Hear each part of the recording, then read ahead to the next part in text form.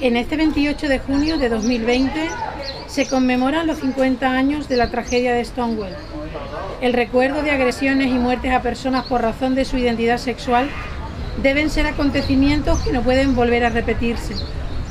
Sin embargo, siguen sucediendo tan solo por salir a la calle de tu pueblo.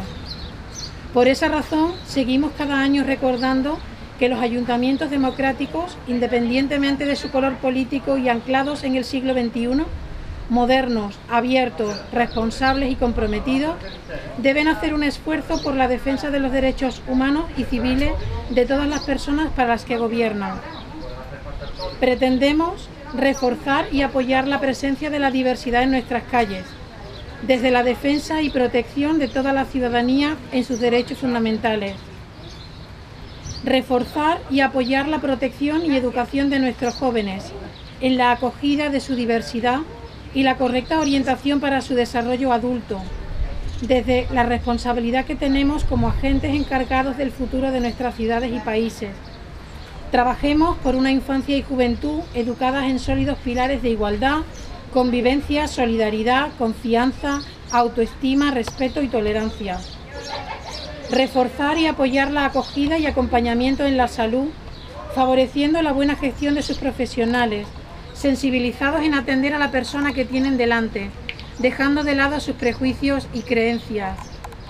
Reforzar y apoyar medidas de sensibilización y visibilización de nuestra realidad diversa LGTBI de nuestra sociedad, como parte de nuestra riqueza social, adaptando lenguajes, dispositivos y recursos a atenciones específicas de nuestros colectivos, así como formación específica en nuestros agentes públicos, tanto personal laboral como representantes políticos locales, en aras de un mejor conocimiento de la realidad LGTBI en nuestra localidad.